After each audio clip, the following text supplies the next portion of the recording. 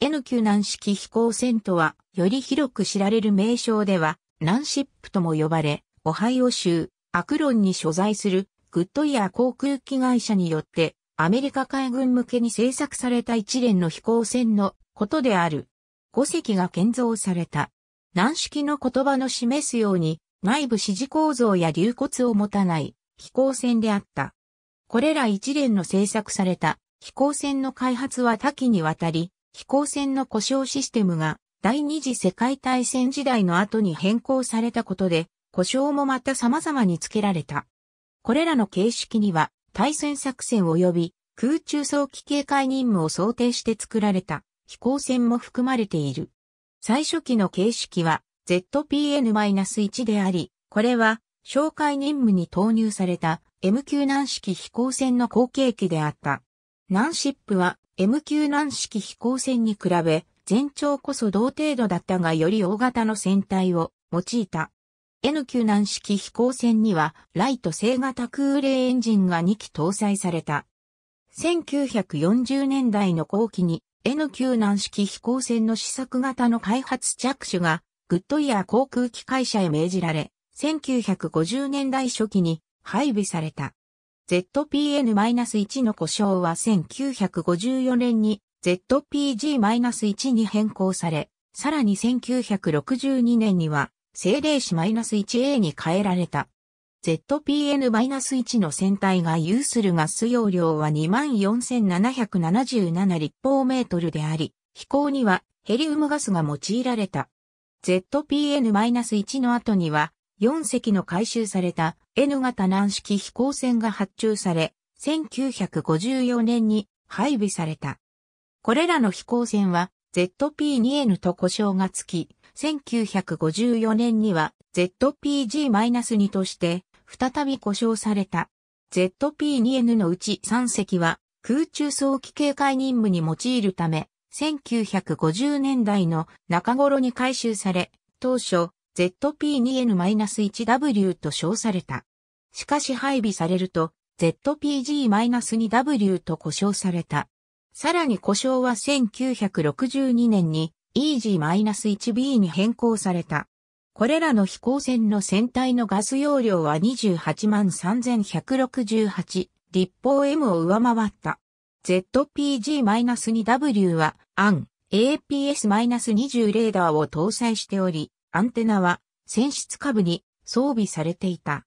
シンプルなダイポールアンテナのついた APS-70 は船体の内部に搭載された。アン APS-69 の高度検知用レーダーアンテナは船体の上に装備された。飛行船には21名の搭乗員を乗せ、200時間以上の対空能力があった。また、エンジンは船室内に収められ、プロペラの駆動には延長シャフトを介した。最初の ZPG-2W は1955年5月に海軍に配備された。場所はレイクハースト海軍航空基地であった。作戦における運用では ZPG-2W は冷戦期における北アメリカの早期警戒レーダー網コンテギオスバリアーとインショアーバリアーの間隙を埋める用途に投入された。ZPG-2W の長時間待機する能力の演習では飛行記録が作られた。ZPG-2 の141,561号機はニュージャージー州に所在するレイクハースト海軍航空技術基地から西アフリカ、さらにフロリダ州のキーウェスト海軍航空基地への常習飛行をノンストップで続け、264.2時間で 15,205km に及ぶ距離を飛行した。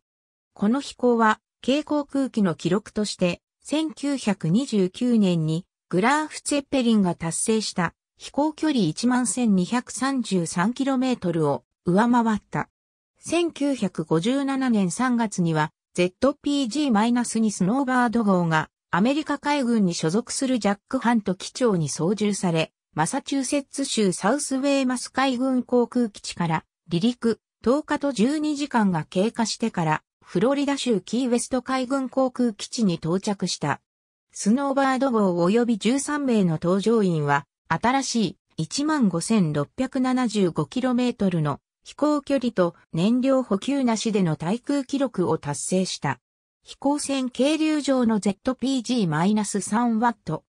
ZW-1 早期警戒中隊の所属機。1960年後継にしてより大型の絵。軟式飛行船は ZPG-3W であり、今まで建造されたうち最大の軟式飛行船だった。この機も、また、冷戦期における北アメリカの早期警戒レーダー網、コンテギオスバリアーとインショアーバリアーの間撃を埋める用途に投入された。俗に ZPG-3W はビジランスと呼ばれた。また、ZPG-3W は早期警戒レーダー用の大きなアンテナをヘリウムを充填する船体の中に収めたという点でユニークであった。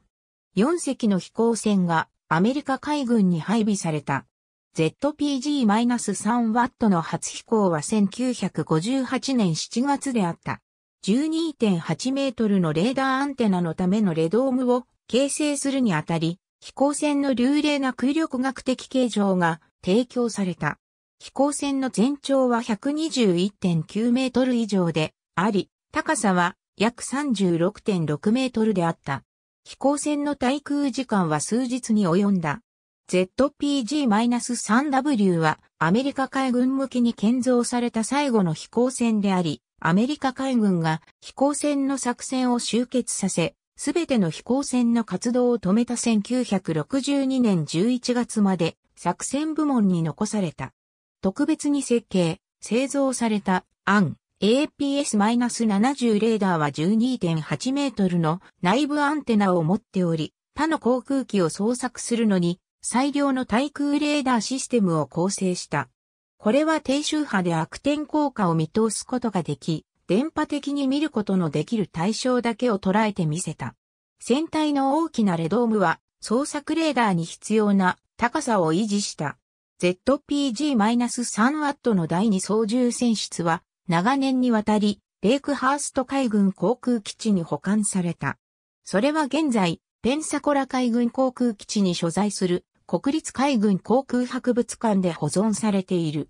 フロリダ州では修復作業が期待されている。1962年、アメリカ国防総省は航空機の故障システムを統一し、ZPG-3W は EG-1C へ再び解消された。1986年、一隻の ZPG-2W の船体がパイア石器 PA-97 ヘリシュタットの建造に転用された。1947年4月に制定された故障システムでは N9 難式飛行船は海軍により ZPN-1 という故障が与えられていた。1954年の4月では故障システムが変更され、重航空機で使用している様式と似せられた。1962年、ZPG-1 の故障システムは、政令市 -1A に変更された。この故障法を、後の軟式飛行船も同様に取った。ありがとうございます。